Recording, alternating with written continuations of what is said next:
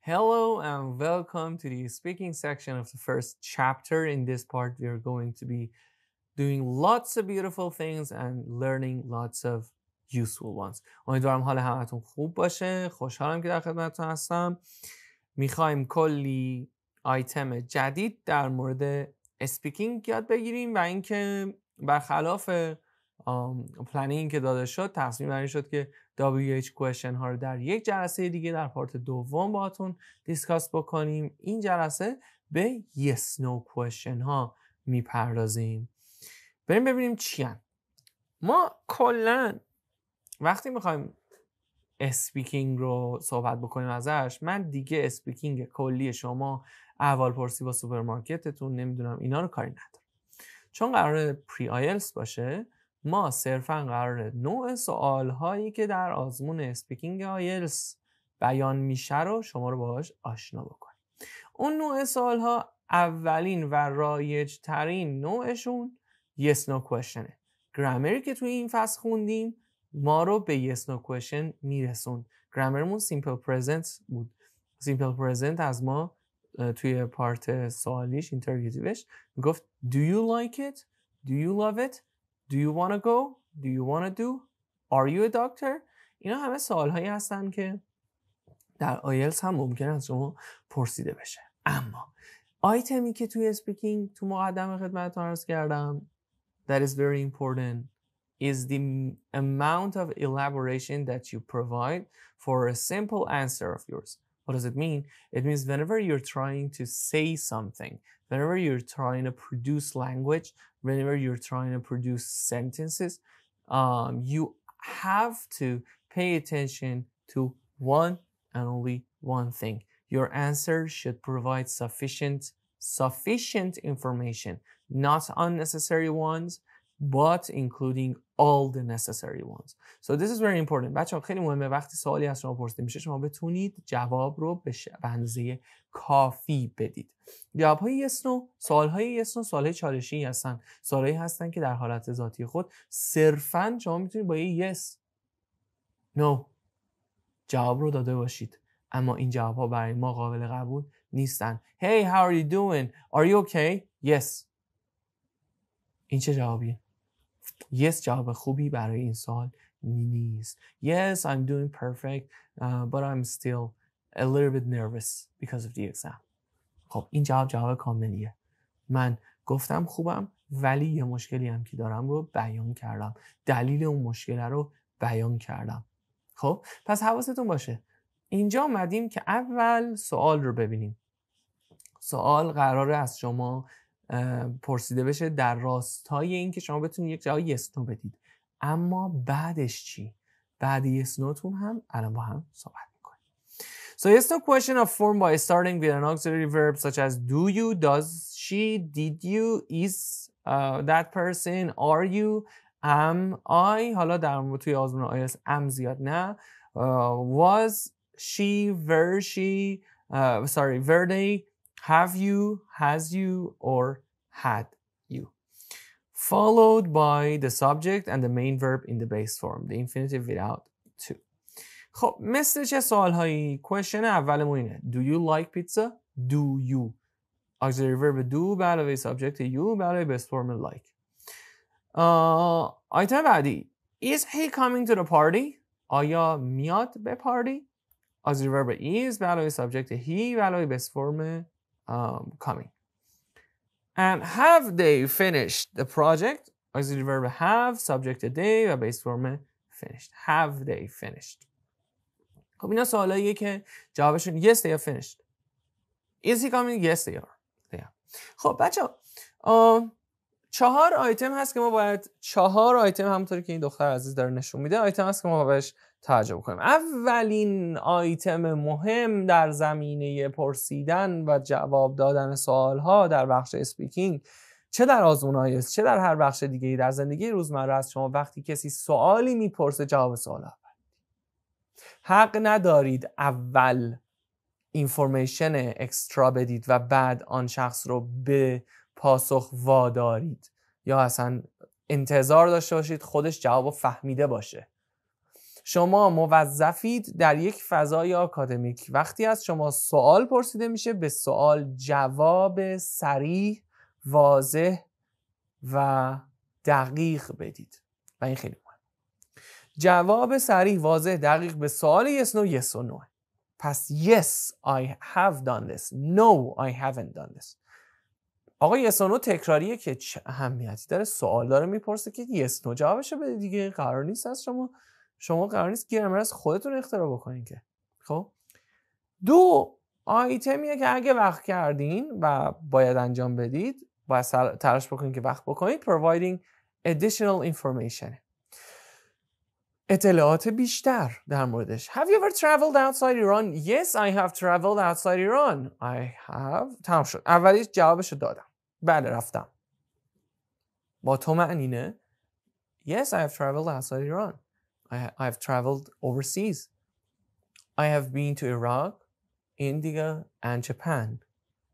I usually go, um, or I, I usually travel abroad once in two years because it is a bit expensive for me that I can't afford to uh, experience it every year, although I enjoy it. تمام شد. برای هر حرفی که زدم دلیل آوردم. من یک بار در دو سال میرم سفر خارج. برام گرونه. چرا برات گرونه؟ سوال در ذهن پیش میاد. چرا برات گرونه؟ چی برات گرونه این که بخوام یه هر بار در یک سال برم حالا چرا باید هر بار در یک سال بری دوباره سوال در پیش میاد برش because I love it خب پس اینا additional information که شما می avoid unnecessary words or details آره رفتم عراق رفتم فلان جا توی فلان هتل I, I resided in for example hotel hotel X Uh, the food there was very great. The staff were great. No, اینا برام مهم نیستن. اینجا نمره ازت کم می‌کنم. داری حرفی می‌زنی که I don't care. جواب سوال باید جواب سوال من باشه. میری بیرون؟ آره. قطعی ترین، بدیهی ترین، مرتبط ترین چیز برای ادامه دادن این که میرم بیرون آره چند بار میرم بیرونه. مگه نگم سوال بعدش خودش اینه. How, how often do you for example travel abroad? بنابراین اینو من می‌تونم ادیشنال اینفورمیشن استفاده کنم ولی هتل و استف هتل جزء unnecessary information. تلاش بکنید علیرغم اینکه حرف می‌زنید از و حرف زیاد زدن الابوریت کردن خوبه. از گفتن اطلاعات بیمورد بپرهیزید یک سری اطلاعات بیموردی که وجود داره در سالها حالا من اینو میگم اینجا دیلش بکنید اینه که for example have you watched football من اشتباه خودم می‌کردم ابتدا می‌گفتم یا مثلا do you know what, what is internet or can you talk about internet devices می‌گفتم اول که باید uh, at first when we want to talk about internet we have to um, describe or define what internet actually is نه یه وقت سعی نکنین define بکنین یک سوالی که از شما پرسیده شده ها چه در writing چه در speaking define نداریم ما. ما کل کاری که می‌تونیم انجام بدیم اینه که به سوال جواب بدیم. می‌شناسی؟ بله می‌شناسم. کار کردی؟ آره کار کردم. دور در هفته کار می‌کنم. تموم شد. طرف فرض کرده که شما این رو می‌دونید و شما فرض می‌کنید پرسنده از شما درک متقابلی داره نسبت به دفنیشن آیتم ها. بنابراین نیاز به توضیح نداره. و آیتم آخر use formal language and tone. شما دارید با یک شخص محترم به صورت فرمال صحبت می‌کنید. داداشتون جلوتون نشسته. باباتون به عبارتی یا حتی خواهر برادرتون جلوتون نشستن. رفیق نزدیکتون نیست. طرف یک examiner ه بنابراین شما باید از academic language استفاده بکنید. از formal language استفاده بکنید تا جایی که می‌تونید. Okay؟ Yeah I ببخشید no she or he doesn't know. مثلا فلان any shoot about it. خب این چه ادبیاتیه؟ نمره کم میشه پس حتما اینا چون اولین باره من موظفم که همه اینا رو براتون اینفورمیشن ها رو شیر بدم. Started yes or no. Additional information بگیم. Unnecessary word دیتیل ندیم. و از formal language و formal tone استفاده بکنیم تونتون هم حالا شوخی خنده و اینا هم نداریم تونتونم رسمی آروم و منطقی Yes, no questions are often used in conversation to confirm information or to ask for a simple answer. They can also be used in more formal settings, مثل آزمونایت, such as interviews or surveys, to gather information efficiently. حالا میخوایم چهار تا سوال تمرین بکنیم. Have you reviewed the budget proposal? پاز بکنین. سعی کنین جواب بدین به این. یه جواب یکی دو جمله ای. جواب ببینیم. Yes, I have reviewed the budget proposal and provided feedback to the, to the team. Good one. Have you worked with this software before? دوباره باز کنیم. Have you worked with this software before? No, I haven't had previous experience with this particular software, but I am willing to learn. چقدر قشنگ جواب من تجربهش رو نداشتم ولی ویلینگم که یاد بگیرم.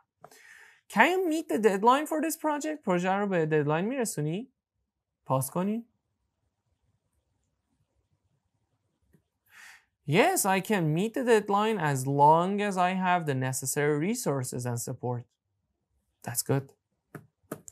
And the next one. Did you attend the conference last week? Conference شرکت کردی؟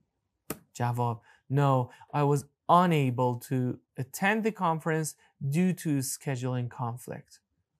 بچه because I was busy عبارت فرمالی نیست due to scheduling conflict تون و بیان فرمالی. به دلیل مثلا ناهمخونی برنامه. یا به دلیل یک اشتباهی که در برنامه ریزی و یا اسکجول وجود داشت. پس می‌خوام یک کم در مورد این tone ها pay attention بکنیم. بهشون جلسات بعدی سوال های بیشتری رو با هم کاور می‌کنیم و سعی می‌کنم مثال های بیشتری براتون بیارم و ایضاً خودتون هم باید بیشتر کار بکنید. همه این سوالی که الان گفتش پرسیده شد جواب هایی که براشتون دارین رو بنویسین روی کاغذ و تلاش بکنین بهترش بکنین وری بکنین از لحاظ گرامری از لحاظ لغوی و از لحاظ بیان.